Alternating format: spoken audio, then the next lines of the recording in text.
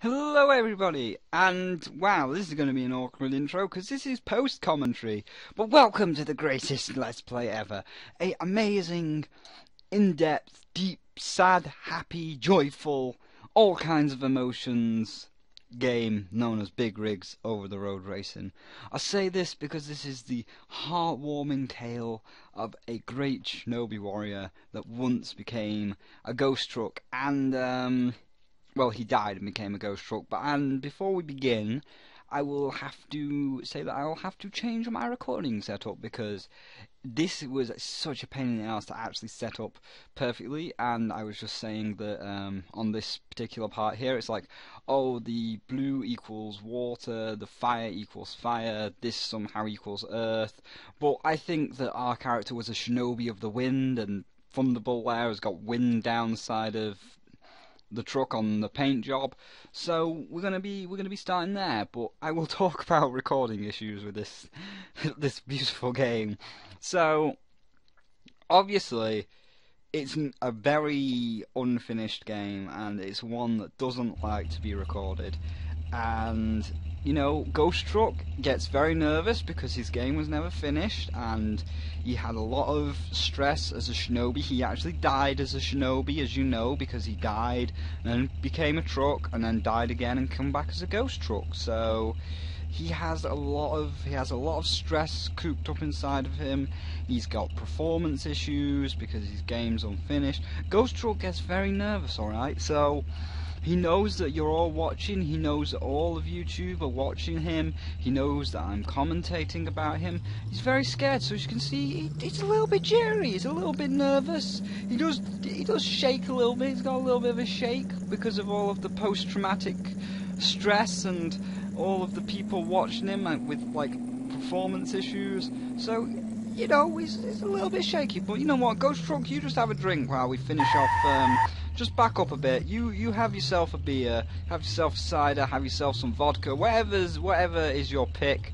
Although seems you're a shinobi warrior, I imagine sake. So go to ye old pub, ye old public bar, I think that says, and have you have yourself some sake. Well, we can we finish off our explanation. So yes, this took really long to set up because it doesn't record right as you'll see in like a failed recording which I saved just to show that it doesn't record right. And I recorded it and I was like oh god it's it's recorded finally. And I've put it on Camtasia which is now what I'm watching this video in while I'm commentating. I'm like where's my sound? And then I did another test recording and the sound doesn't actually record because when Camtasia opens it records what's on screen in that window and because there's like no window option for big rigs it'll only rec- like big rigs goes full screen. But if big rigs is full screen it won't record the desktop window and big rigs like it does with things like Fez and Isaac. It'll record just the big rigs window. And um, that means that there's no sound. So uh, yeah that's that's kind of how that happens. And now I will know, but now I know in the future when we record all of the other episodes, because we're going to do a full Let's Play on it, and I'll explain why in a moment. But when I do all of the other episodes, I will now remember to be like, okay, we've got to do all of the other episodes, so now what we've got to do is we've got to open Big Rig, start recording, start Audacity recording, and then paste our audio from Audacity into Camtasia so that we can actually get our first reactions because obviously I was talking here about um, other things that were going on, like don't go off the edge of the level because bad things happen. And I couldn't. I did have a second fail recording where I was like, "Oh, let's just follow that pipe, go onto the, go off the edge of the level because we can just drive back on." But once you go off the edge of the level, you kind of go off the edge of the level for good and it's really hard to get back on. And I was like, oh god, if I'm stuck, I'm gonna have to record a second time. So that's why I didn't go off the level. And this like could be some kind of oil pipe that was unfinished, and that's why all the ground that I'm driving on is black.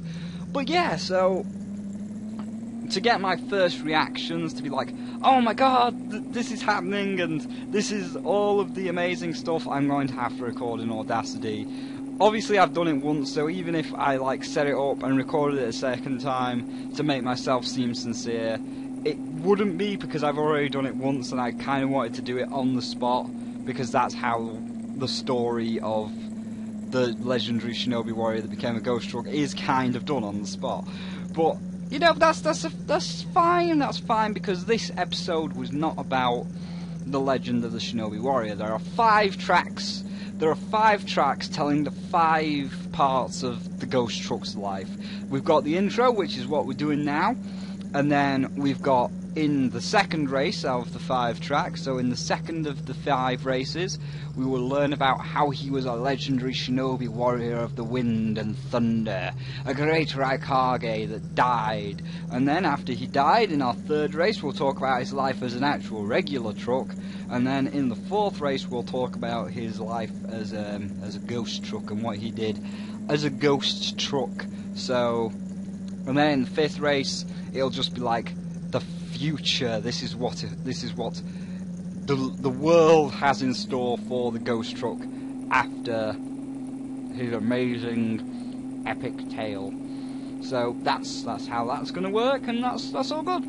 So now we're five minutes in. This is what I also said. We're going to have five minutes exploring the level as we did when we went to those um, floating oil pipes. And after we've had about five minutes exploring the level, as not to make these videos too long, after we've had five minutes of exploring the level, we will go back onto the road and we'll actually do the race legit. Like, it is a big world, or a semi-big world. It did take a while to get around, and we could do more exploring, which I'm going to do, but I also have to hit the checkpoints along the way after five minutes. So for five minutes we can go off the road, go ever, wherever we like, but then like we'll stay on the road and just go through the checkpoints because the ultra nav system does work and I figured out how it works. Like we missed checkpoint number two, which you'll see at the end of the video, because I have to go around the track and find number two. But it's like we can uh, we can go, and I was just like here.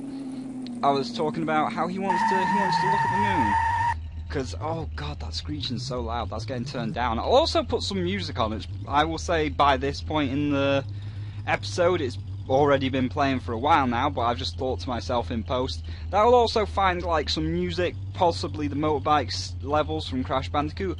Put that in the background give you something nice to listen to and tone down the the screeching and stuff of the ghost truck. But yeah we were just talking about how he wanted to go have a look at the moon because princess luna come to him after he died, and it's like, she's like, dude, you're to be resurrected as a ghost truck, and he's like, oh, I can't take this anymore, the stress, that I can't take all the stress, and I'm, I'm shaking, I'm so bad, I've died as a shinobi, I'm died as a truck, no more princesses, and it's like, okay, it's okay, it's okay, I will make this beautiful night just for you. This night is going to look perfect, and honestly, I will say the night does look really nice, like, out of all of the shit that's being rendered, like these trees we're coming up to, the night looks really nice. I'll say the night looks a nice thing, but that's just because I'm kissing Luna's ass, quite literally, sometimes, because I, I love Moonbutt. I love that Moonbutt. But anyway, she was like, I'm going to make you this beautiful starry night, and this beautiful starry night that's so gorgeous and perfect with a perfect full moon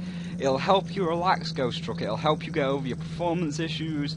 It'll help you relax and calm down, and then you, everybody will be all nice and calm to talk about your amazing legend, your epic tale and journeys that you went on across the countless years, across all of your incarnations. And he was like, "Oh, oh, thank you so much, Princess Luna.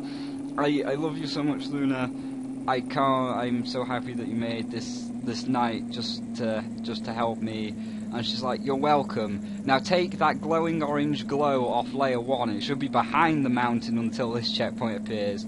I can't do that, Princess Luna. That's fine, Ghost Truck. We forgive you. We forgive you." But don't don't let it happen because you might fulfill the same fate as that helicopter we just passed through. So that's that's what's going to happen. This intro was just me saying that I have to record it differently and Camtasia needs to like synergize with Audacity to make this work properly now.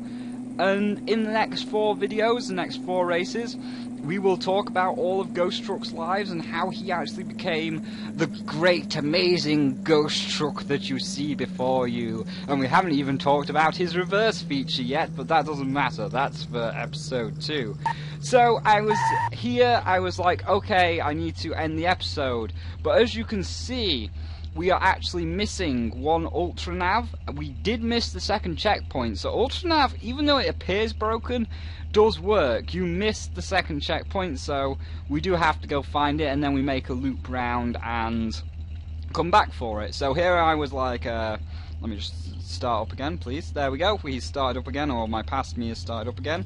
And I was like, okay, and this is the end of the video because there's the finish line. So thank you all for watching. And I was like, oh wait, it didn't work because we did miss the second checkpoint, and it is actually the second checkpoint along the road.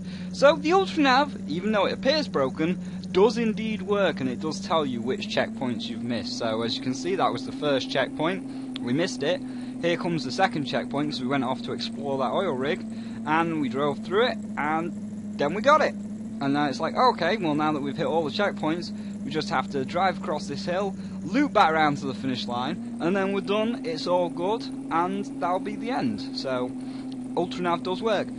So, as, as I just said, we are looping back round to the end in the video, because I've done this before, I did this like 10 minutes ago. So, thank you all for watching this episode of Let's Play Big Rigs. If you're enjoying, if you're enjoying this video, leave a like for Ghost Truck, leave a like for that beautiful man there who's had such a hard life, which you're going to hear about soon. And if you're enjoying this content and you want to know more about the story and you don't want to miss any part of this story, feel free to subscribe for Ghost Truck and hear his legend. And of course, to all of you watching, you're winner. See you in the next one.